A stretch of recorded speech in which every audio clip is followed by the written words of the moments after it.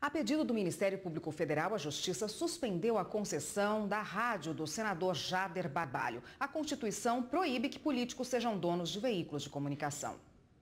A sentença que suspendeu a concessão da Rádio Clube do Pará é do Tribunal Regional Federal da Primeira Região. A emissora, que pertence ao senador Jader Barbalho e à deputada federal Elcione Barbalho, ex-mulher dele, deve ficar fora do ar durante o trâmite do processo movido pelo MPF no Pará. O objetivo é evitar o tráfico de influência e proteger os meios de comunicação.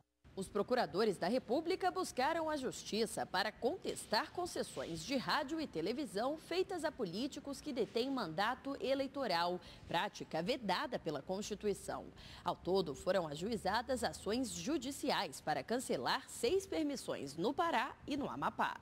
Para o Ministério Público Federal, a situação revela um claro conflito de interesses, já que cabe ao Congresso Nacional apreciar as concessões e renovações de licenças de rádio e TV, além de fiscalizar o serviço. Há casos, inclusive, de parlamentares que já participaram de votações para aprovar licenças e renovações de suas próprias emissoras.